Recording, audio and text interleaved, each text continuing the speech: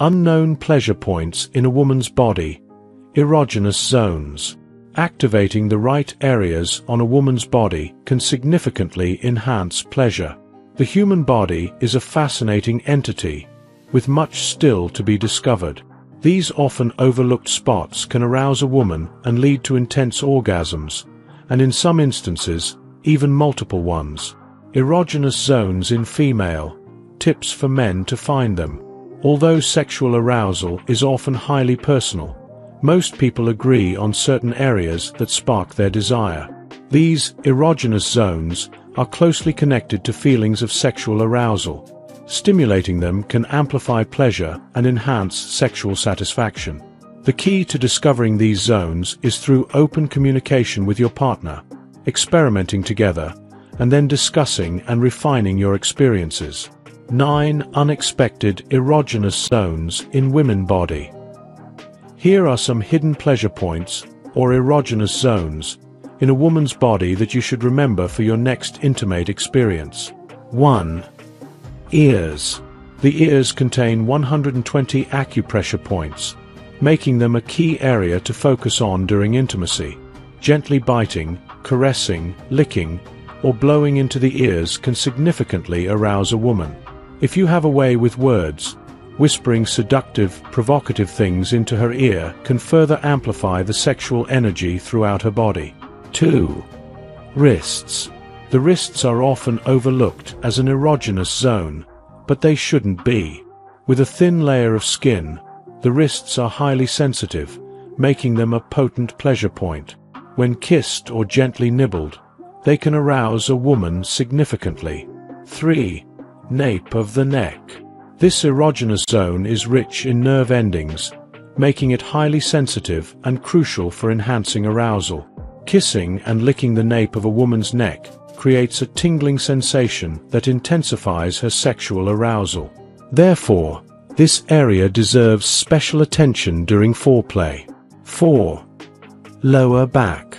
Incorporate this sensitive erogenous zone into your foreplay routine as massaging the lower back is highly stimulating for a woman.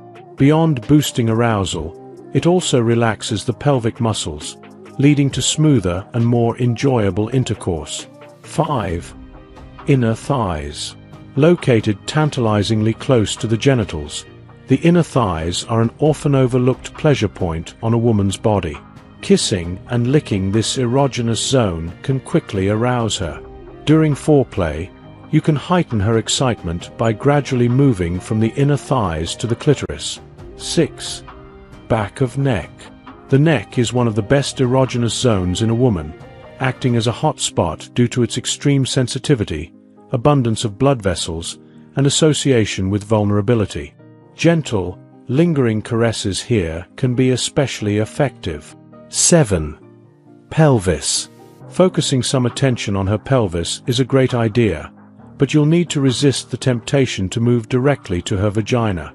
Similar to teasing her inner thighs, kissing and licking around her pelvis will build anticipation and excitement. Keep her wanting more by occasionally shifting your focus to other areas of her body before returning to this spot. 8. Behind her knees. This area is often overlooked by many men when trying to stimulate a woman, but it's actually quite sensitive. Gently caressing the back of her knee while you're in a public setting can build anticipation for when you get home. Make sure to give this special spot additional attention once you're alone together. 9. The arm. Another erogenous zone on a woman's body is just below the shoulder, on the outer part of her arm, between the elbow and shoulder. This area is highly sensitive and can be as stimulating as the clitoris. When you locate that specific pressure point and press it directly, holding it for 10 seconds or more, it can trigger a powerful wave of pleasure that may lead her to experience orgasmic breath and a profound sensation throughout her body. Why people prioritize sexual relationships over emotional ones. In today's world, where shallow expressions of love and broken trust are common, many people are leaning more towards sexual relationships. There is a growing focus on fulfilling physical desires while leaving love and emotional connection on the back burner. The fear of commitment and rejection are factors influencing this shift in attitudes towards relationships. It has become easier to engage in intimacy without emotional attachment. Here are a few reasons why people often prioritize sexual relationships over emotional ones. 1. Lack of emotional bond. As individuals grow up, they may experience a lack of emotional bonds with family or friends. The formative years are crucial in shaping a young person's personality. Weak friendships and feelings of isolation can lead to a reluctance to open up emotionally and mentally to others. 2. Partners' preferences. It takes two to make a relationship work.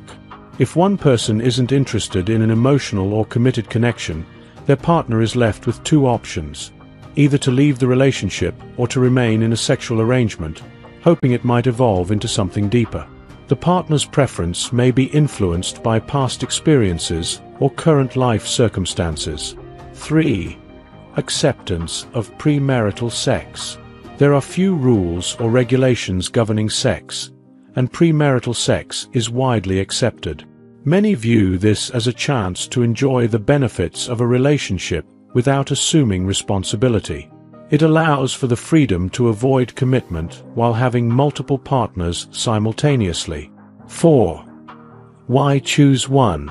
Commitment and emotional relationships involve just two people. In contrast, Sexual relationships are perceived differently. Many people now find being with only one person to be dull, leading them to prefer sexual connections over romantic ones. The allure of multiple options often seems more appealing. 5. Commitment takes time.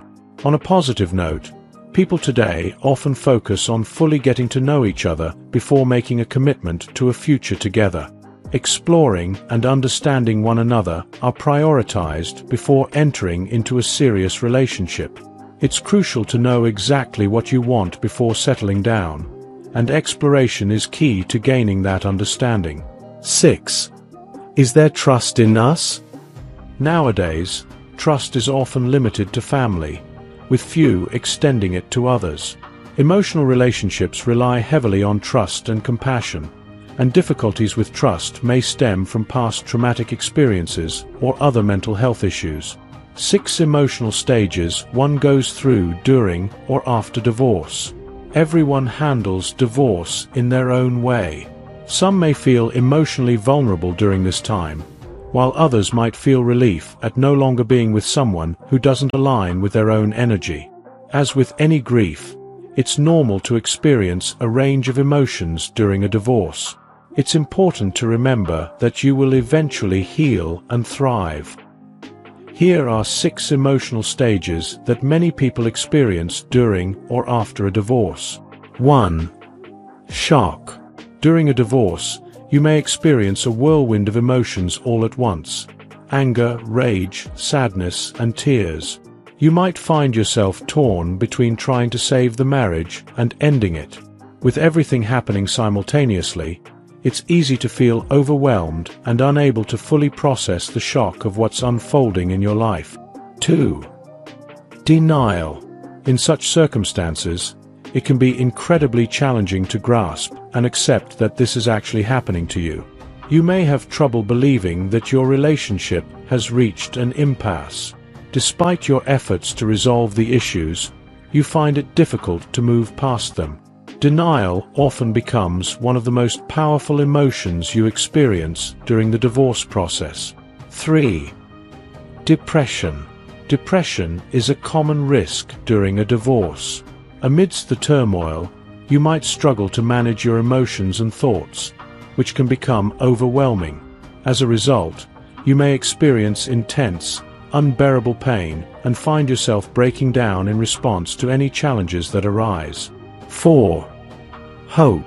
Deep down, you may still harbor hopes of salvaging your marriage. Despite how difficult things have become, you cling to the desire to make things work.